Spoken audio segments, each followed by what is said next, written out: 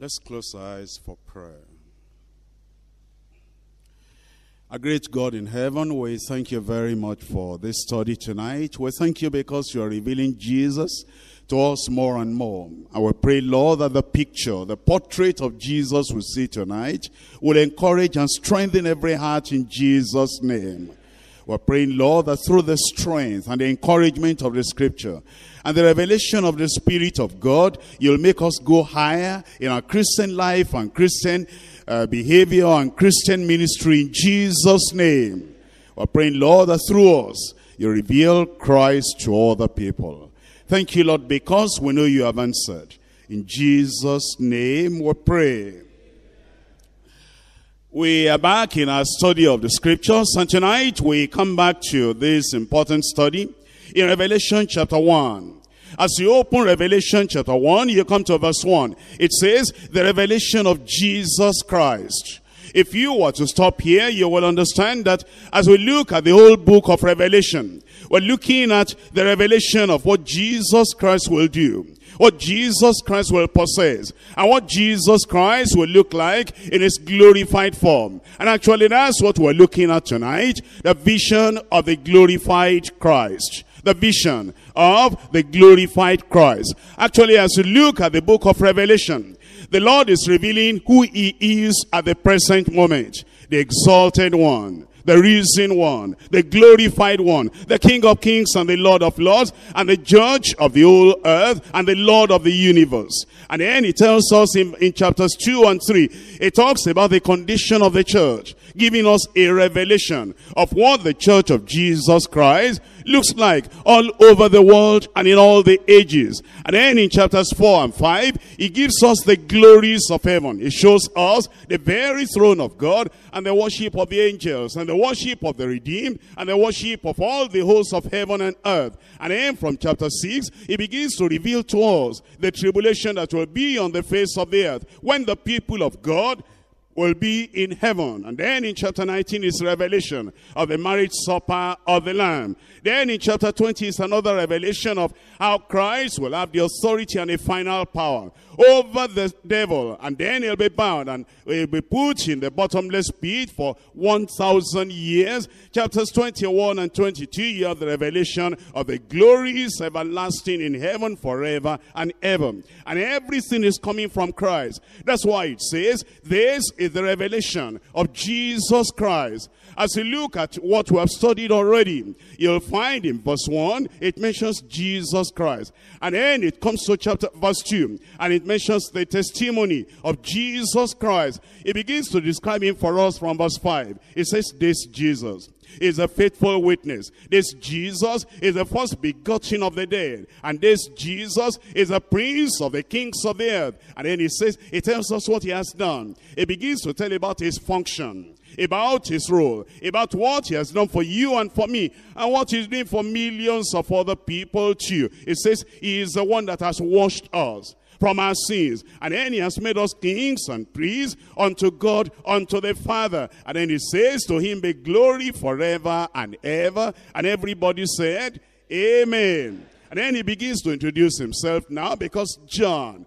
was so surprised when he heard a voice behind him. What kind of voice is this? He begins to tell us he's the one to come again. Because surely he will come again. Certainly he will come again. Who is this one? In verse 11 is the Alpha and is the Omega.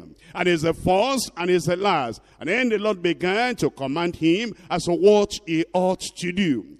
You know that if he talks so much about Jesus Christ, in these few verses, what are we going to see in the verses, in the chapters still to come? Actually, before the revelation of the great end time events, Christ, the central character, in this book of the Revelation, had to reveal himself to John. He gave his identity to John so that John will know his authority, will know his present glory, and will know his future majesty. His voice sounded like that of a trumpet. And actually, when you think about that, when God gave to his people from Mount Sinai, and he spoke to them concerning the commandments of the Lord. His declarations came forth with a sound of a trumpet. Well, the children of Israel, they knew that the year of Jubilee was also announced by with a, prop, with a trumpet. And when the great day of resurrection will come, it will be announced with the voice of the trumpet of God. And so John was aroused and John was awakened to the solemnity of what was about uh, to come. What was about to see the great Christ, the glorified Christ, the glorious Christ. And then the voice of Christ coming like a thunder and coming like a trumpet. Then John turned around to see who was talking to him who was commanding him to write everything that he saw. And then he saw it was the Son of Man. That's the Lord Jesus Christ. But when John saw him, it wasn't like the familiar person he had known that he leaned his head upon. It wasn't the humiliated Christ. It wasn't the incarnate Christ. It wasn't the one that he saw walking the streets of Galilee. This was a very different thing. In fact, before I read the account to you, look at verse 17 of chapter 1 and see the response and see the shock that came on John. He said, when I saw him, I fell at his feet as dead. That was the effect of the vision of the glorified Christ on him. And we're looking at that today. And I pray that you'll produce a similar effect in our hearts as is produced in the heart in the life of John. Come to Revelation chapter 1, reading from verse 12. And I turned to see the voice that spake with me. And being turned, I saw seven golden candlesticks, and in the midst of the seven candlesticks, one like unto the Son of Man, clothed with a garment down to the foot, and girt about the paps with a golden girdle. He said, and his hairs were like wool, as white as snow, and his eyes were as a flame of fire, and his feet like fine brass, as if they burned in a furnace, and his voice as the voice of many waters. And he had in his right hand seven stars. Out of his mouth went a sharp two-edged sword and his countenance was as the sun shineth in his strength. I'm sure you can get a feel of it even as we read the words. But obviously, if you were to see directly, as John saw, it might have produced the same effect in you. Because we're told now in verse 17, and when I saw him, the glorified Christ, the risen Christ, and I saw him in his majesty and glory and power, I fell at his feet as dead. And he laid his hand, his right hand upon me, saying unto me, Fear not, I am the first and the last. I am he that liveth and was dead, and behold, I am alive forevermore. Amen. And have the keys of hell and of death. That's a portrait of the picture of Jesus Christ that John saw. He has seen Jesus Christ in the days of his flesh, but now he was seen the very Son of Man in his glorified form. He saw an awesome vision of the Son of Man, the Son of God. The description of the Son of Man, the Son of God that he saw was so glorious beyond comparison. There wasn't anything to compare that vision with any other thing he had seen before. Christ revealed himself with symbols of his function. That is the things he did. You'll see as we go into the study and of his character and of his majesty and authority. His dignity was made to shine forth with judicial authority and kingly presence and power. As we go into the study, we're going to divide the study into three parts. Number one, sacred and spiritual duties of the glorified Christ. The glorified Christ revealed to John on the Isle of Patmos. It was revealed so that John will know the sacred duties of Christ, the spiritual duties of Christ, even now that Christ is in heaven. Number two, sublime dignity of the glorified Christ. And the dignity of Christ, supremacy of Christ, the sublime dignity of the glorified Christ. And then number three, now symbolic description of the glorified Christ. The symbolic description of the glorified Christ. We come to number one, the sacred and spiritual duties of the glorified Christ. We look at verse 11, verse uh, 12. And I turned to see the voice of him that spake with me. And being turned, I saw seven golden candlesticks. And in the midst of the seven candlesticks, one like unto the Son of Man, clothed with a garment down to his foot, and girt about by the paths with a golden garden. You'll see here, everything is in pictures, because you'll see that the book of Revelation itself is symbolic. As you look at the book of Revelation, the numbers are symbolic, and the pictures are symbolic. The revelations are symbolic. What you see of Christ is symbolic. Many, many things will need interpretation of those symbols, but wonderful thing, the wonderful thing is the word of God has given us the interpretation to clear up those symbols that you read in the book of Revelation. It tells us, for example, he said, I turned. He had to turn because he had been, he had been down there in the Isle of Patmos and he was maybe just uh, going on and doing his own thing. And then he tells us in verse 10, I was in the spirit, in the spirit of worship, in the spirit of adoration. You remember the Lord in the day of the Lord, in the Lord's day. That was the first day of the week. And then immediately was in the spirit on the Lord's day. He had behind him a great voice as of a trumpet. And it wasn't a quiet, silent voice at all. It was something that thundered in his ears. And then when he heard, uh, like a trumpet says, I'm Alpha and Omega, the first and the last. And then you're going to see something in verse 11. It says, write in a book the things to see and send to the seven churches in Asia Minor. And then he was wondering, what kind of voice is this? Everything had been quiet until this voice like a thunder came. And then he said, I turned to see the voice that spoke with me.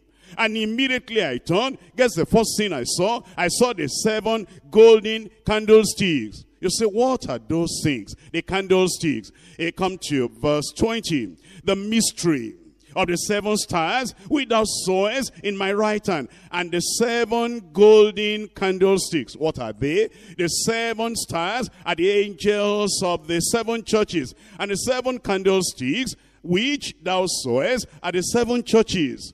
So you will understand then, Christ standing in the midst of the seven golden candlesticks, it simply means that he was standing in the midst of the churches. Because the candlesticks, according to verse 20, represent the churches. Why? Because the world is in darkness.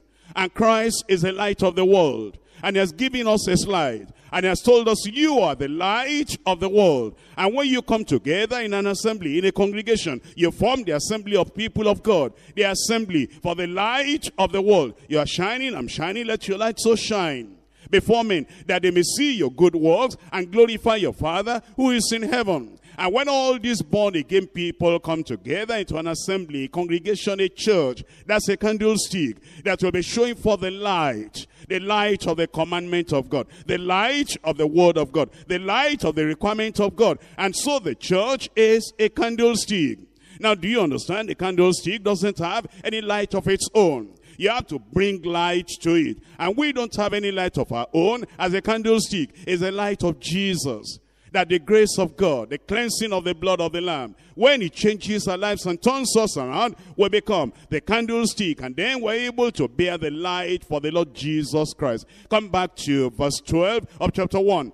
And being turned, I saw seven golden candlesticks. Golden, precious, priceless. Because gold is the most precious metal which means that in the sight of God, the candlestick that is the church, the people of God, the congregation of born again, redeemed people, they are the most priceless and precious people on the face of the earth. And there are seven. Why seven? Seven is the number for completeness. I've told you before, you've seen that before in the word of God. That is the whole church. And then it says now, when you saw in the midst, in verse 13, it says, in the midst thereof, of the seven candlesticks, one like the Son of Man. Isn't that what Jesus Christ had promised when he said, where two or three are gathered in my name? Look at it, Matthew chapter 18, verse 20.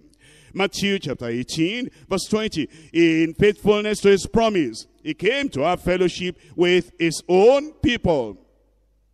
Matthew chapter 18 verse 20, for where two or three are gathered together in my name, there am I in the midst of them. And as you see that these candlesticks, they represent the church. You now have the Son of God, the Son of Man, Jesus Christ himself, glorified Christ, standing in the midst of them. And this is uh, the thing that the children of Israel enjoyed in days gone by. That the Lord told them that he will be in their midst in Deuteronomy chapter 23. Deuteronomy chapter 23, reading from verse 14. For the Lord thy God walketh in the midst of thy camp, where the people of God are gathered together, the redeemed of the Lord, the ransomed of the Lord. In their own case, they have been redeemed from the land of Egypt and the pollutions of Egypt had been cleansed away from them. All those idolat idolatrous things of Egypt had been taken away from them. And because they were now the people of God, washed and covered in the blood of the Lamb. When I see the blood, I will pass over you. They had passed from judgment unto life. And they were not condemned anymore just like the church today, just like the believers today. And God said, because you are the redeemed of the Lord, the Lord thy God, walketh in the midst of thy camp. To do what? There's a purpose. There's a function. Why God will be in the midst of his people. It says to deliver thee and to give up thine enemies before thee. Therefore shall thy camp be holy, that he see no unclean thing in thee, and turn away from thee. We can see then that Christ came in the midst of his people. By the way, that uh, promise in the Old Testament, that God will be in the midst of his people. That promise had been given to us now in the New Testament in Second Corinthians chapter 6. Second Corinthians chapter 6. I'm reading to you from verse 17. Wherefore come out from among them, and be ye separate, says the Lord, and touch not the unclean thing. And I will receive you, and I will be a father unto you, and ye shall be my sons and my daughters, says the Lord Almighty. When that happens, and you come out of the multitude of the gangs of the unbelievers and the sinners, and your sins are forgiven, and you become a child of God, and you believe on the Lord Jesus Christ, and you are part of the church of the living God. What happens then? What's the position of the Lord in the midst of such people? The latter part of verse 16 and I will be their God, and they shall be my people. Well, what's the consequence of that? Read that whole verse. What agreement has the temple of God with idols? Or what for what? For ye are the temple of the living God, as God has said, I will dwell in them, I will walk in them. I will dwell with them, I will walk with them. And so you will see then that the Lord, He comes in the midst of the people, of the people of God. In Revelation chapter 1, reading from verse 12 again, and I turned. I turned to see the voice that spake with me. And being turned, I saw seven golden candlesticks. I saw the whole church. I saw the complete church. I saw the blood-washed, redeemed people. I saw the saved people in their congregations and I saw the church from age to age. And then in the midst of that church, of the complete church, the seven golden candlestick, I saw one like unto the Son of Man, Jesus Christ himself, in the midst of his own people. When I saw him, how did I see him? What kind of dress did he have? And what is that telling me? Look at that verse 13. Clothes with a garment down to the foot well, because you have not been an Israelite yourself and you might not have seen the pictures of the priests and the high priests of those days, you might not understand. But you see here, when Jesus appeared to John, he saw him clothed like the high priest. Because with the children of Israel, there's a particular way in which the high priest dressed. Not only that, the garment also looked like that of a prophet in the Old Testament of the children of Israel. And he said, I'm seeing a, I'm seeing a priest here. I'm seeing a prophet here. Not only that, when you saw the kings in those days and you saw them dress, they dressed different from the rest of the people. And it was like a prince, like a king. And so immediately, uh, John could see the threefold ministry and function and duty of the Lord Jesus Christ, the glorified Christ. The priest, the prophet, and the prince. He said, I saw him. And when I saw him, I wasn't just looking at the clothes. The clothes tell, told me something. Told me that Jesus Christ, as is in heaven now, is making intercession for us because he's a high priest. Not only that, he's ruling in our hearts because he's our king. Not only that, he's revealing his mind to us by the Spirit because he is the prophet. And look at this in the Old Testament, what the priest was supposed to do. The high priest in particular. As we look at uh, Leviticus chapter 24. Leviticus chapter 24, reading from verse 1.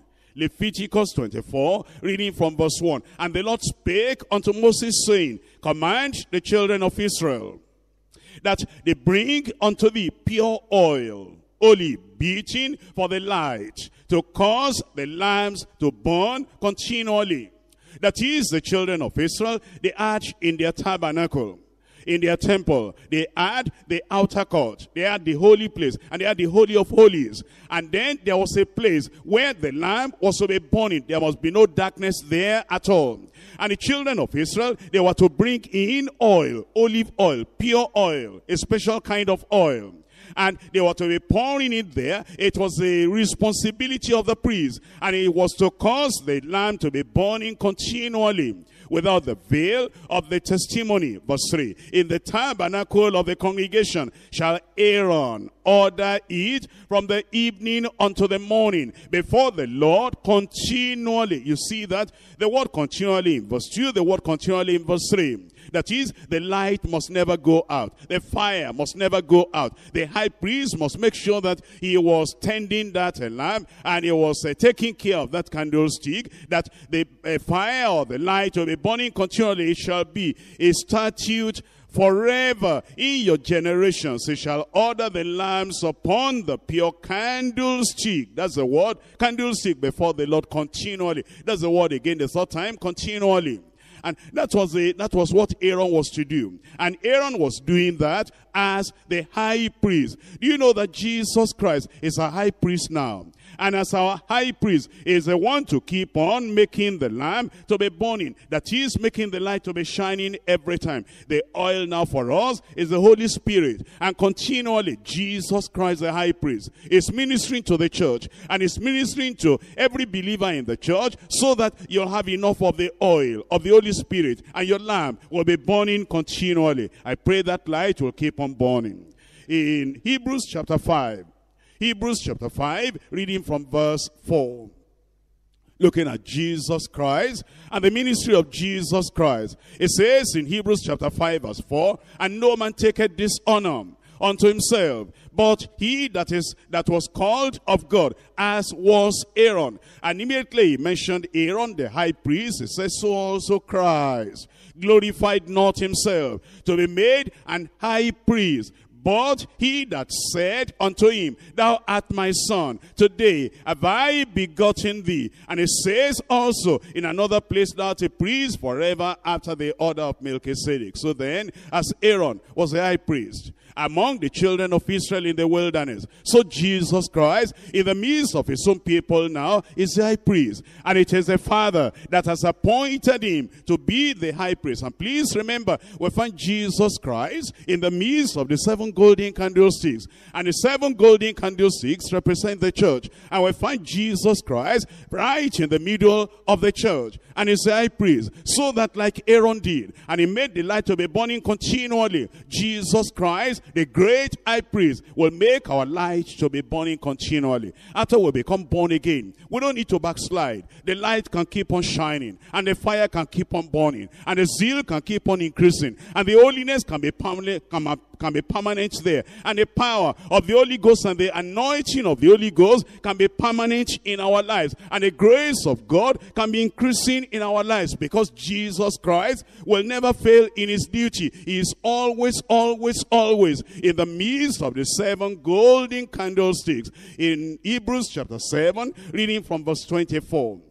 Hebrews chapter 7. I'm reading from verse 24. We're still talking about Jesus Christ, the great high priest. But this man, because he continued forever, he continued ever, has an unchangeable priesthood. That's the Lord Jesus Christ. Wherefore, he is able also to save them to the uttermost that come unto God by him, seeing that he ever liveth to make intercession for them. You understand now? While John found the Son of Man, the Son of God, the glorified Christ, in the midst of the seven golden candlesticks, in the midst of the churches, is interceding for the church. It's encouraging the church. It's helping the church. It's uplifting the church. That's his ministry. It tells us in verse 26, For such an high priest became us, who is holy, harmless, undefiled, separate from sinners, and made higher than the heavens. It's talking about Jesus Christ, who is the great high priest. Hebrews chapter 3, reading from verse 1. Wherefore, holy brethren, partakers of the heavenly calling, consider the apostle and the high priest of our profession, Jesus Christ. You see directly that Jesus Christ referred to you as the high priest of our profession, who was faithful to him that appointed him. That means he'll be faithful to the office and the function, and the role and the duty of the high priest. He will never fail. If we backslide, it's not his fault. It's because we're careless. It's because we're not taking to us the grace of God available, and the unction available, and the anointing available, and the ministry of Jesus Christ, the high priest that's available. Because it says, who was faithful to him that appointed him, as also Moses was faithful in all his house. In verse 3, for this man referring to Jesus Christ, was counted worthy of more glory than Moses, inasmuch as he who has builded the house has more honor than the house. For every house is builded by some man. But he that built all things is God. And Moses verily was faithful in all his house as a servant for a testimony of those things which were to be spoken after. But Christ as a son over his own house, whose house we are, if we hold fast the confidence and the rejoicing of the hope firm unto the end. And you see that, that we're related to the Lord Jesus Christ, in that we're born again, in that we're children of God now, in that because we're children of God, he has become our high priest. I told you that when John saw the Lord Jesus Christ, the glorified Christ, he saw him, number one, as the priest. Number two, he saw him as the prophet as a prophet in the sense that uh, the, the garment that he wore, it just reminded him that Jesus Christ was not just priest, he was also prophet. We're told in Isaiah chapter 11, Isaiah chapter 11, the ministry of Jesus Christ, what Jesus will do, who Jesus will be, and what relationship he will also have with us. And you know, I've told you it's not only priest and it's not only prophet, it's prince as well. In Isaiah chapter 11 verse 4, but with righteousness shall he judge the poor and reprove with equity for the meek of the earth, and he shall smite the earth with the rod of his mouth, and the breath of his lips uh, shall he slay the wicked. The and righteousness shall be the girdle of his loins, and faithfulness, the girdle of his race. You will see uh, talking about the girdle, it's talking about uh, the garment, it's talking about righteousness, and it's talking about the rod coming out of his mouth, which is his word, his pronouncement. Everything is pictorial here. But it's showing us who Jesus Christ is and what Jesus Christ will do. By the way, when it says that he saw Jesus Christ in the midst of the seven golden candlesticks, which means he was perpetually present in the midst of his own people. Isn't that what he said when he rose from the dead? And he gave the great commission to his own disciples. And in giving to his own disciples, he has given to us as well. In Matthew chapter 28 verse 18. Matthew chapter 28, reading from verse 18. It says, And Jesus came and spake unto them, saying, All power is given unto me in heaven and in earth. Go ye therefore and teach all nations, baptizing them in the name of the Father and of the Son and of the Holy Ghost, teaching them to observe all things whatsoever I have commanded you. And lo, I am with you always, even to the end of the world. The Lord is still with us today.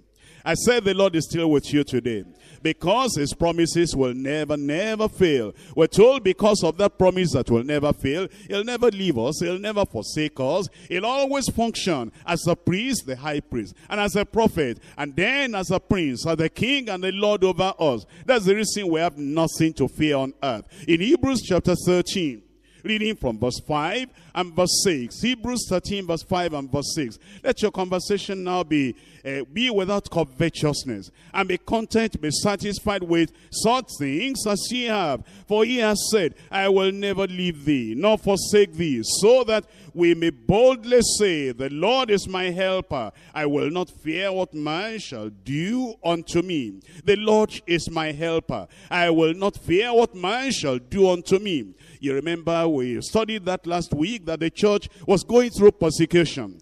This was the time and the era, the empire of Domitian. And Domitian was a very cruel and wicked tyrant as an emperor. And he persecuted the church. And then it was a great encouragement to John, the beloved, as was languishing there in the prison, in the Isle of Patmos, in banishment. And all of a sudden, he had this great voice. And it was the voice that thundered like a trumpet. And he looked back and he saw Jesus Christ in the midst of the church. That Jesus Christ has not abandoned the church. Yes, there's persecution. Oh yes, as the light is shining in the darkness of the world, the world does not fully understand. And therefore they persecute the people of God. But what an encouragement, what an upliftment. As John saw the Lord Jesus Christ in the midst of the church. When he saw the church in the midst of the, when he saw Christ in the midst of the seven golden candlesticks, still showing light that Jesus Christ was still faithful to his promise and was in fellowship with his people. From the messages we see, we know that when Jesus Christ comes in the midst of the church, he is there to observe and to examine the church. Do you know that he examines our church? He observes our church. Do you know that Jesus Christ is in the midst of the church and he sees every member. He observes every member. He examines every member. Not only that, he's there to support and to encourage the church. And while you are there, whatever you are going through, maybe you are going through some troublous times at home and things are tough at home. Please understand, the Lord will never leave you. The Lord will never forsake you because He's in the midst of the church. He's there for your encouragement. He's there for your support and He strengthens the church. He protects the church. He will protect you and He will strengthen you. Of course, as we look at um, uh, chapters 2 and 3, he corrects the church and he warns the church and he promises to reward the faithful overcomers in the church. Christ is seen in his exalted position, in his exalted power as the Lord of the church and the King of the universe. As we look at this vision, you see him, the garment and the girdle. I told you already, that shows him his priest. It shows him as prophet. It shows him as king and prince.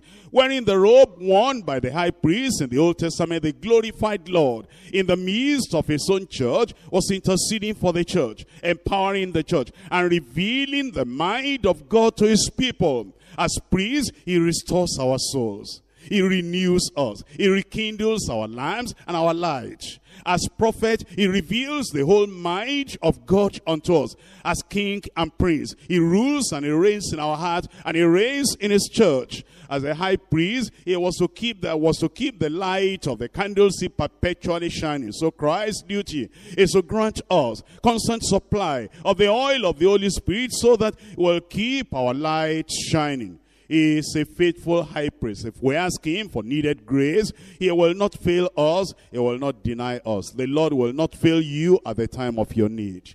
We come to point number two, sublime dignity of the glorified Christ. The sublime dignity of the glorified Christ. I come to chapter 1 verses 13 and 14. In verse 13 it says, In the midst of the seven candlesticks, one like unto the Son of Man, clothed with a garment down to the foot and girt about with the paps with a golden girdle. It said, and his ears were white like wool and white as snow, as white as snow, and his eyes were as a flame of fire.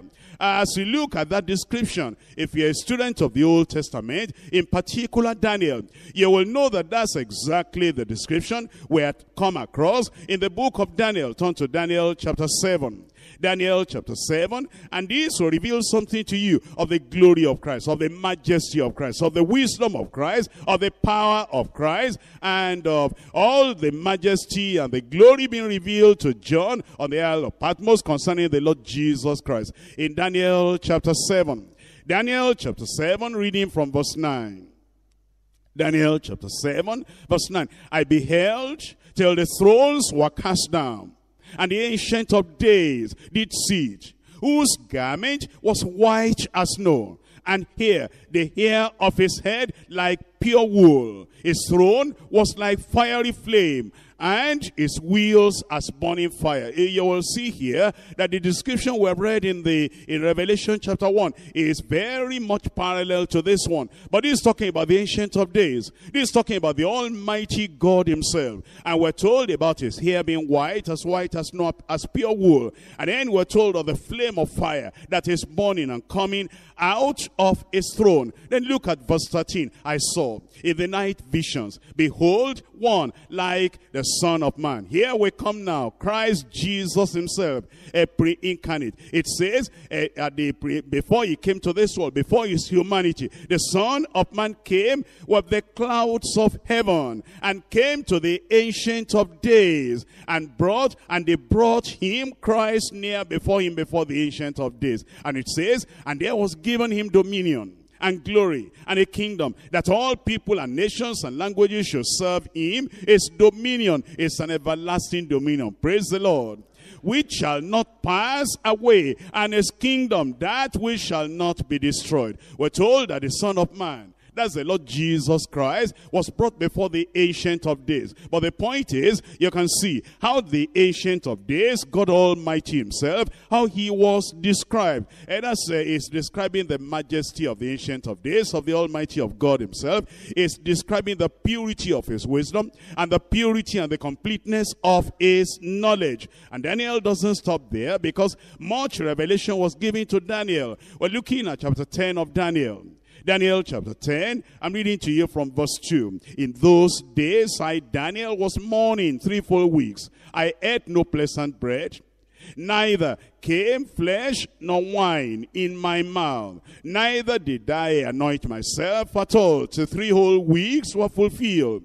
And in the four and twentieth day of the first month, as I was by the side of the great river, which is Hiddekel, then I lifted up mine eyes, and I looked, and behold, a certain man clothed in linen, whose loins were girded with fine gold of Ophir. His body was like the beryl, and his face was the appearance of lightning, and his eyes as lamps of fire, and his arms and his feet like in color to burnish, uh, polish uh, brass, and the voice of his was like the voice of a multitude. You will see that what John saw on the Isle of Patmos, even uh, Daniel had seen something like that before. We're looking at the dignity of Christ, the majesty of Christ, the, uh, the honor of Christ shining forth as we behold him glorified in this vision is the exalted one. He has been exalted by the Almighty God himself, by the Ancient of Days. His description is parallel to that of the Ancient of Days himself in honor, in glory, in dominion. We know that he is one with God the Father. I and my Father are one. What do you understand by that snowy white here? That symbolizes the purity of his truth and the perfection of his wisdom. Have you seen sometimes when you see the pictures in the papers, if you've not been to the law courts yourself, you'll see those lawyers and you'll see the judge wearing that a wig on the head and it's all white. And it, that whiteness is showing the purity of wisdom and the purity of principle. As the judge as he comes they know he's going to be fair. They know he's going to be just. He's going to judge everything right because what he's putting on the head that white wig is a symbol of fairness and faithfulness and loyalty to the law. And as a judge that has wisdom that is competent as you see the Lord Jesus Christ and he comes he comes comes as a king. He comes as the judge of the whole earth. And then you see that he has the purity of truth. And he has the perfection of wisdom. He's absolutely pure and perfect in his ministry to the church. He's purging and purifying the church with his own blood so that he'll make us blameless and holy. And as you come to Revelation chapter 1, Revelation chapter 1, you don't only see the white hair, uh, you also see the eyes and the flames of fire, penetrating fire piercing fire, piercing eyes. That is in verse, uh, in verse 14, the latter part of verse 14. And his eyes were as a flame of fire his eyes like a flame of fire. And this is talking about his knowledge. This is talking about uh, the, the searching and the piercing, penetrating eyes that will see into the depths of the church with holy intelligence. That is, when he looks at the church, the intelligence he has, the wisdom he has, it's not just ordinary human intelligence or wisdom. It's holy, divine wisdom and intelligence. He sees everything in the heart of everyone in the church. He sees perfectly. And there are no secrets, there are nothing, there are there are no secrets that can be hidden from him. Nothing misses his piercing, penetrating eyes. No deeds, no thoughts can be hidden from him. When he judges, he judges righteously. When he condemns and when he comments, he does that accurately. Is a divinely appointed judge before whom the whole world will stand on the final day. Uh, look at the comment of the scriptures concerning uh, the Lord Jesus Christ and concerning the God of heaven. When we think about God, we're also thinking about Jesus Christ because their attributes are similar. Their characteristics are similar. It tells us in Psalm 93.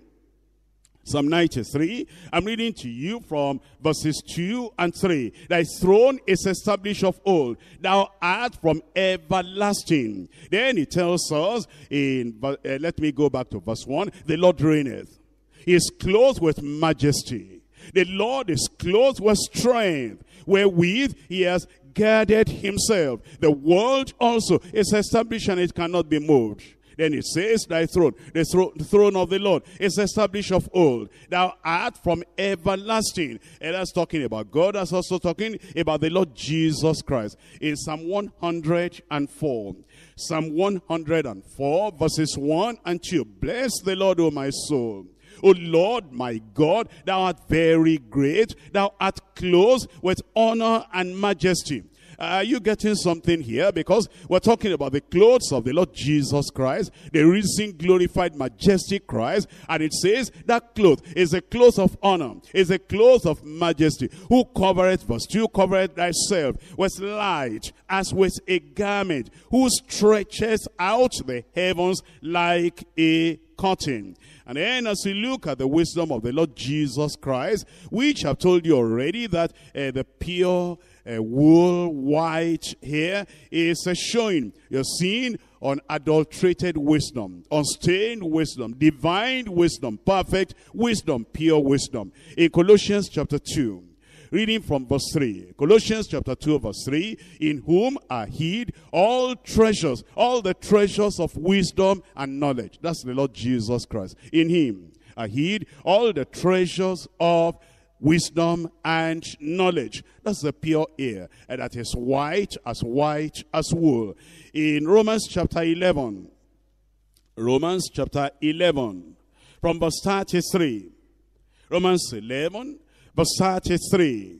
Oh, the depths of the riches both of wisdom and knowledge of God. How unsearchable are his judgments, and his ways are past finding out. And then in verse 36, for of him, and through him, and to him, are all things, to whom be glory forever and ever as you think about the Lord Jesus Christ, and there's even an allusion to this in the Old Testament. Uh, please open your Bible to the Proverbs chapter 8. Proverbs chapter 8. And see the allusion that is made to the wisdom of Christ from the very foundation of the earth. From the time God created the world, Christ had been with him because Christ is everlasting. For is the Alpha and the Omega. He's been here before the creation of the world, and he will be here after the world has folded up and is burnt up and is, is forgotten. In Proverbs chapter 8, verse 23, I was set off from everlasting, from the beginning or ever the world, the earth was. When there was no depths, I was brought, I was brought forth.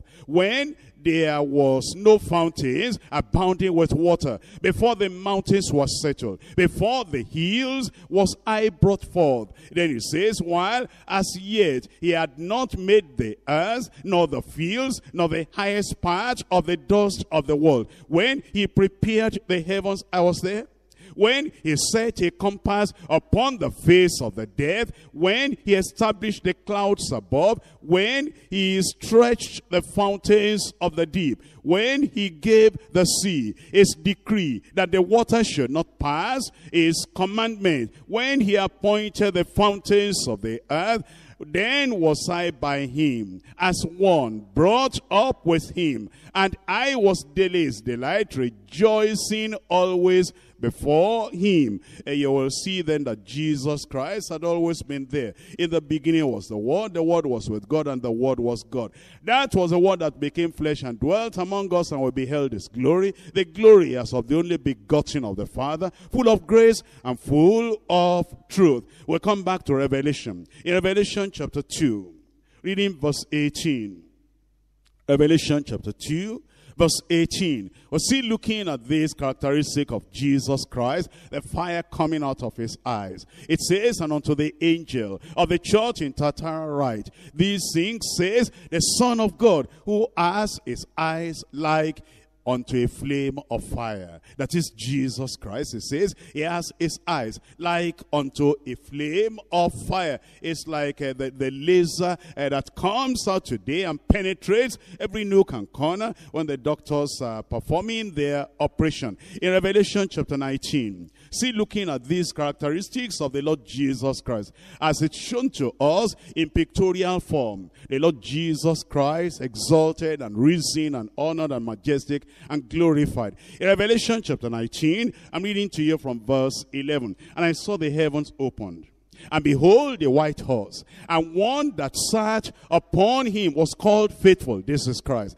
And true. This is the Lord Jesus Christ. And in righteousness does he judge and make war. His eyes were as a flame of fire. You cannot miss it. You read it in chapter 1. You read it in chapter 2. Now in chapter 19, the eyes of the Lord Jesus Christ like a flame of fire. By the way, these were the eyes that wept when he was still on the earth when he was in the days of his humiliation. These were the tender eyes and people could look into those eyes and see the compassion and see the mercy and see the love. But now he comes as a judge. He comes as a prince. He comes as the one that is equal to the ancient of days. He comes in glory, in honor, in majesty. And when you look at the eyes now, you don't see tears coming out. You don't see the tenderness and the compassion you saw in the Gospels of Matthew, Mark, Luke, and John. But now you see a flame flame of fire. Verse 12, his eyes were as a flame of fire. And on his head were many crowns. And he had a name written that no man knew, but he himself.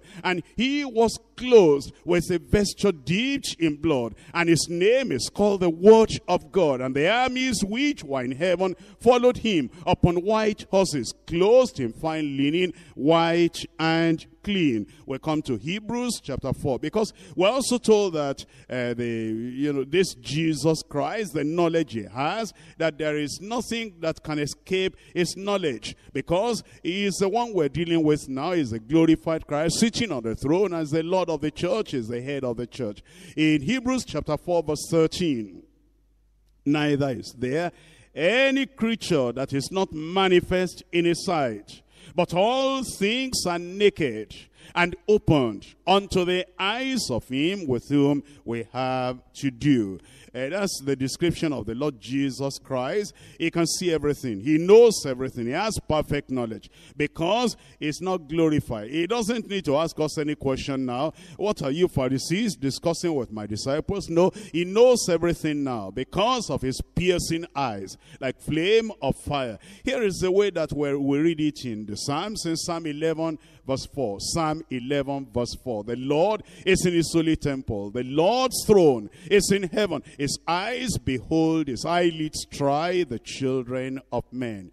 Uh, today now as we look at the Lord Jesus Christ, it's very different. As we see the Lord Jesus Christ, is very different now. Here John that was uh, leaning upon the bosom of Jesus Christ uh, when he was in the days of his flesh. As he saw the Lord Jesus Christ at this time, it was something else. It was different. Here was, fire, here was fire coming out of his very eyes. Uh, you, you understand that then Jesus Christ, when he saw him, it, fear seized him. And then he fell at the feet of Jesus Christ as if he was dead until Jesus laid his right hand on him and said, Rise up, be not afraid. I'm the first and the last. I was dead, but I'm alive forevermore. We're going to point number three now. The symbolic description of the glorified Christ. Symbolic description of the glorified Christ. I come to Revelation chapter 1. I'm reading to you from verse 13. Revelation chapter 1 verse, let's go back to verse 12. And I turned to see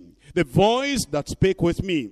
And being turned, I saw seven golden candlesticks. And in the midst of the seven candlesticks, one, like unto the Son of Man, clothed with a garment down to his foot, to the foot, and girt about the paps with a golden girdle and his head and his hairs were white like wool, as white as snow, and his eyes were as a flame of fire, and his feet like unto fine brass, as if they burnt in a furnace, and his eyes and his voice as the sound of many waters. And he had in his right hand the seven, seven stars. And out of his mouth went a sharp two-edged sword. And his countenance was as the sun shineth in his strength. Already I've told you, and you can see it yourself, that the book of Revelation is full of symbols. And as we look at these symbols, you mustn't allow your imagination or fantasy to run loose and begin to interpret it the way you want. Actually, as we look at it, the book explains itself. The revelation explains itself. And as you look at those symbolic descriptions, you can see the interpretation in the word of God. That's why you will carefully look at the word of God as it talks about the Lord Jesus Christ. Look at, for example, Isaiah chapter 63. Isaiah chapter 63. And you're looking at the description of the Lord Jesus Christ in these symbolic pictures or portrait that is given unto us. In Isaiah chapter 63, reading from verse 1. Who is this that cometh from Edom with dyed garments from Bozrah, that which days that is glorious in his apparel, traveling in the greatness of his strength. I that speak in righteousness, mighty to save. Here Isaiah saw in a vision also, and he said, who is this one coming? His garments is like it's been dyed. It's like uh, it's dyed in red color, which is uh, signifying the blood of the lamb. And it says it's traveling in the greatness of his strength. And then he replied, "It's I that speak that speak in righteousness, mighty to save.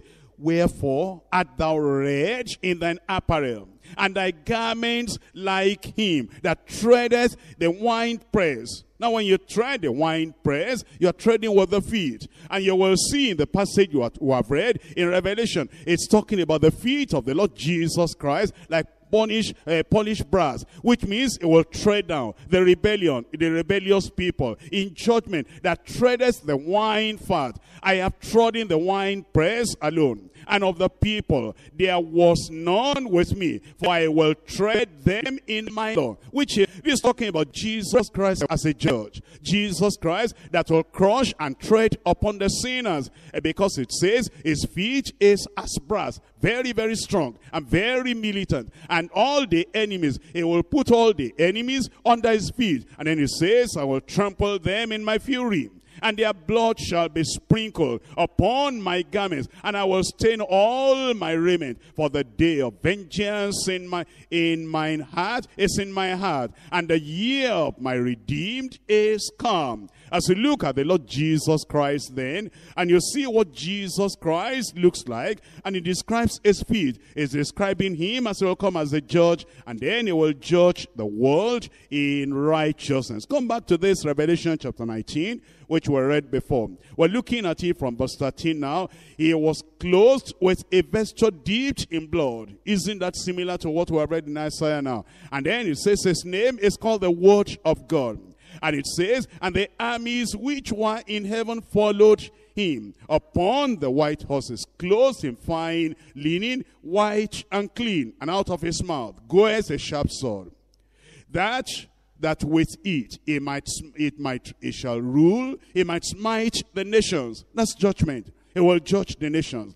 It will smite the nations and he shall rule them with a rod of iron. Listen to this. And he treadeth the wine press of the fierceness and the wrath of the Almighty God. So then, when you read about his feet in Revelation chapter 1, you're reading about the judgment that will come. That all enemies, all rebellion, all the disobedient, all the people that refuse and reject Jesus Christ, they will be trodden under the foot of the judgment of God. In First Corinthians chapter 15, 15. First Corinthians chapter 15.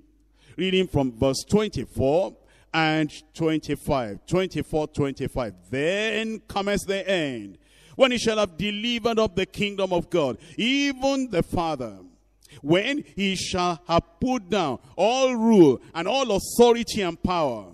For he must reign till he has put all enemies under his feet. That's what he's telling us. That Jesus Christ, when he comes, he comes as king. He comes as judge. And he comes as the one that will trample upon all those who have rejected the mercy of God, who have rejected the love of God, who have not given their lives unto the Lord Jesus Christ. He comes as a judge. That's the description of what John was seeing. And John understood that because John was an apostle and he had the Spirit of God and he understood the Old Testament and all these pictures you find in the Old Testament in Jeremiah chapter 25. Jeremiah chapter 25, reading verses 30 and 31. Therefore, prophesy thou against all these, against them, all these words, and say unto them, the Lord shall roar from his, from on high, and his voice from the holy habitation. It shall mightily roar upon his habitation, and it shall, it shall give a shout as they that tread the graves against all the inhabitants of the earth. A night shall come, even to the ends of the earth. For the Lord has a controversy with the nations. He will plead with all flesh. He will give them that are wicked to the sword, says the Lord. We're reading Psalm 29. Psalm 29, reading from verse, uh, reading from verse 3, Psalm 29. I'm reading there from verse 3. I don't want you, I don't want you to lose the trend of what we are studying here now. We're talking about the Lord Jesus Christ. We're seeing his clothing.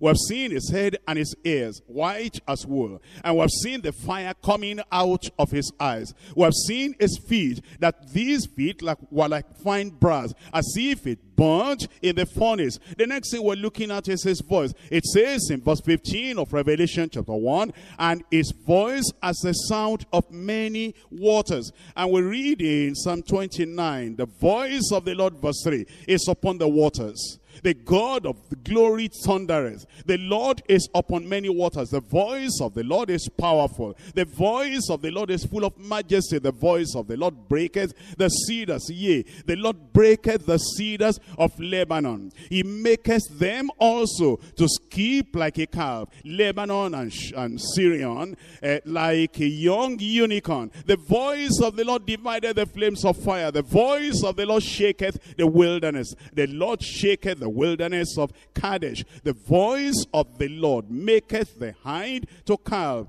and discovereth the forest. And in his temple does everyone speak of his glory. The Lord sitteth upon the flood, yea, the Lord sitteth king forever. The Lord will give strength unto his people. The Lord will bless his people with peace. You will see then the mighty voice of Jesus Christ. When he comes, he'll not be whispering. When he comes, he'll not be talking gently because he'll be coming as a mighty judge with all power and with all might. And the Psalms in Psalm 73 we were shown more of the revelation of the majesty and the glory of the Lord. In Psalm 73, reading from verse 23, Psalm 73 verse 23, Nevertheless, I am continually with thee. Thou hast holding me with the right hand. Have you seen what he's telling us in the book of Revelation? Because he's talking about Jesus Christ in his right hand. He has seven stars. And those seven stars are the seven angels of the churches, that is the ministers, that is the leaders of the church. And if he's holding the leaders and the ministers and the church, he's holding the members of the church too. And here he says, the psalmist is telling us, Thou hast holding me with thy right hand. Thou shalt guide me with thy counsel. And afterward receive me to glory. Whom have I in heaven but thee? And there is none on earth that I desire beside thee. It says, my flesh and my heart faileth. But God is the strength of my heart and my portion forever. And then he tells us, for lo, they that are far from thee shall perish. Thou hast destroyed all them that go a warring, going astray from thee. But it is good for me to draw near to God. I have put my trust in the Lord God, that I may declare all his works. Please come back to Revelation chapter 1. As we look at Revelation chapter 1, and we're looking at the symbolic representation, the symbolic description of the Lord Jesus Christ. It tells us now in verse 16, and he had in his right hand seven stars.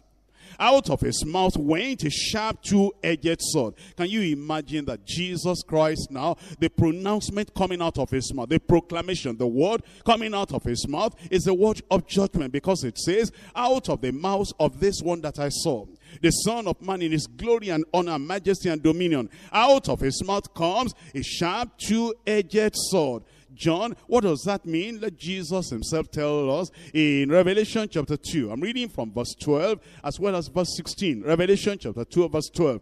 And to the angel of the church in Pergamos write, these things says he, which has the sharp sword with two edges. What does that mean? Jesus continues in verse 16.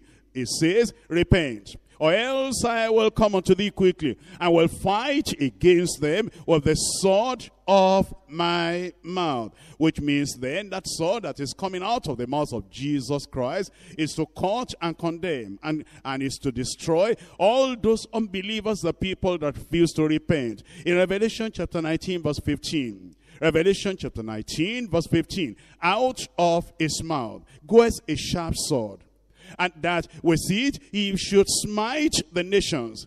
That with it, that sharp sword, he should smite the nations. And then we're told in verse 20, see him in action here.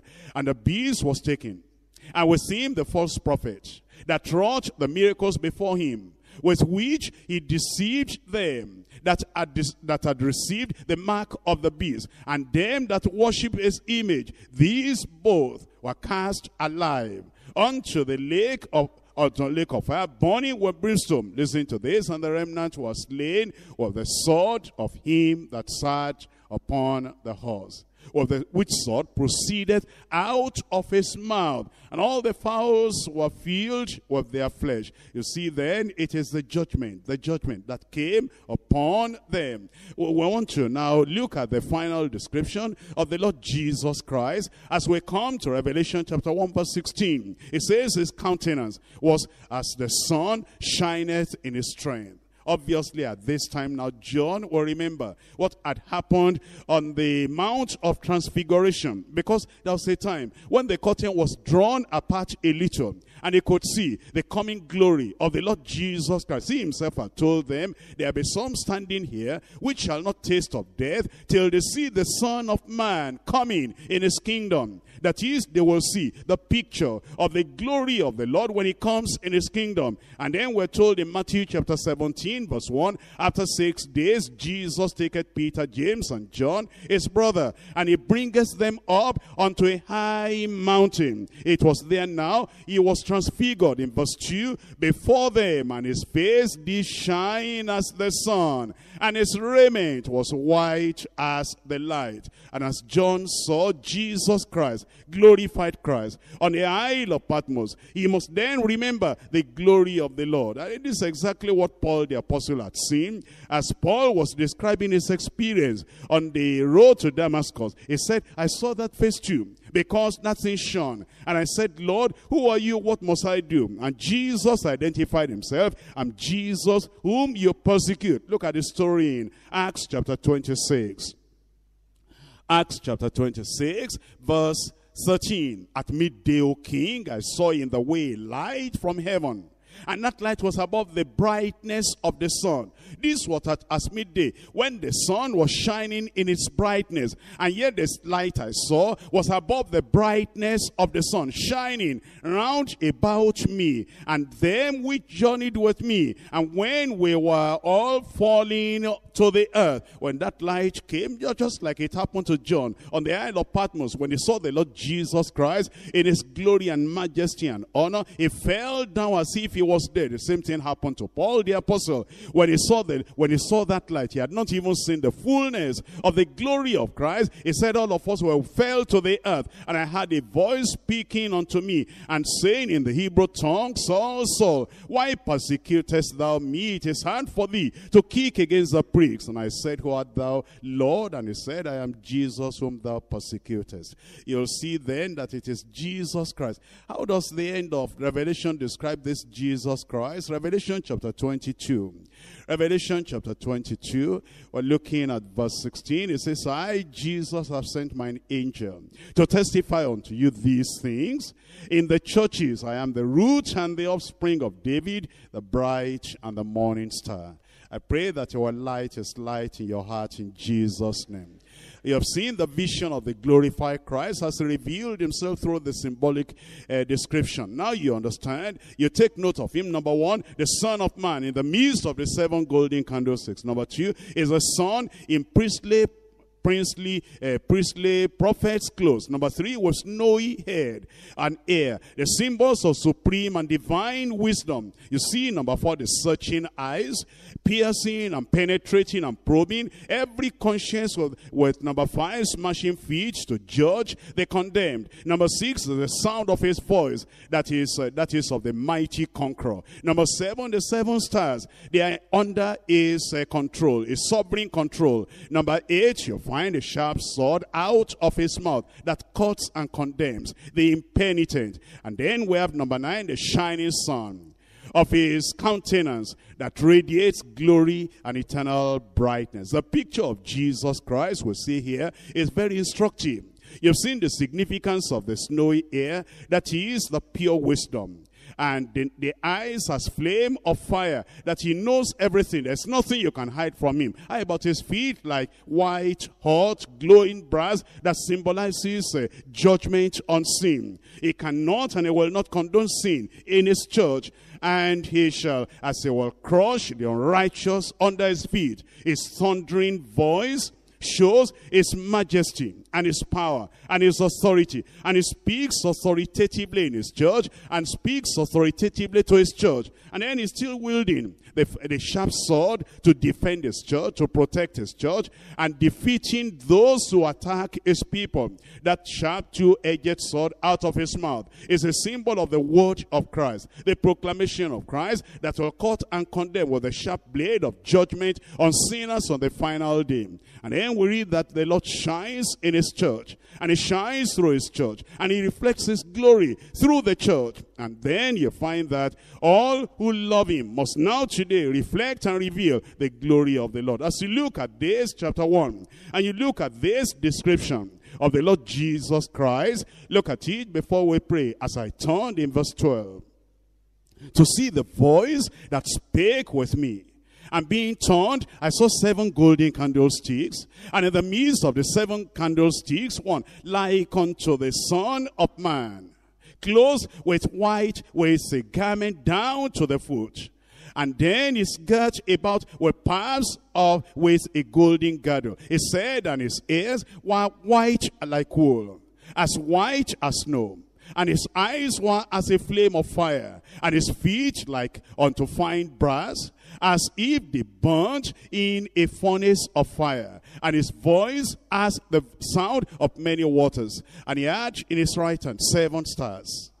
Out of his mouth went a sharp two-edged sword, and his countenance was as the sun shineth in his strength. Do you see here the portrait of Christ?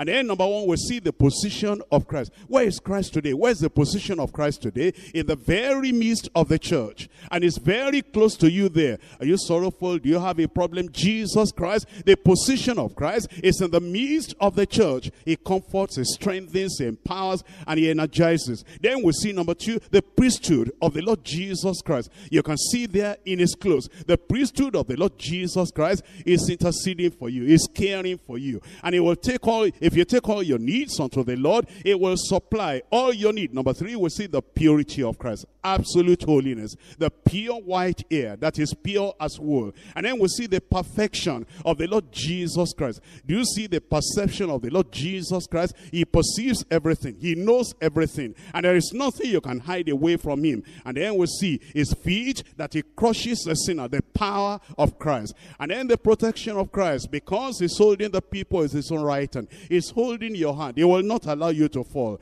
And he will perfect what, what he has started in your life in Jesus' name.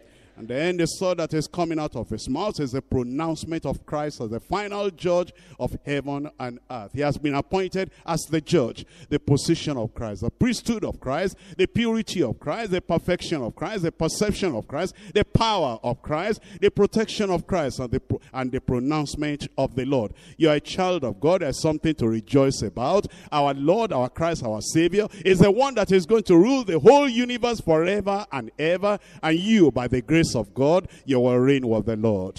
Let's rise up and talk to the Lord in prayer. Let's thank the Lord for what the Lord has done. Let's thank the Lord for his revelation. Let's thank the Lord for what he has revealed to us today. Of the glory of Christ, of the honor of Christ, of the majesty of Christ, of the dominion of Christ. He reigns and he rules forever. Let him reign and let him rule in your heart.